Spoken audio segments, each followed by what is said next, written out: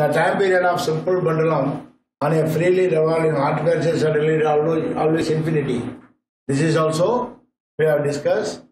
And the simple pendulum is moving or doing the experiment, t is equal to 2 pi root of L by G.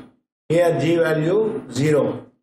No 0. So since a G G value becomes 0, anything by 0, the answer become infinity.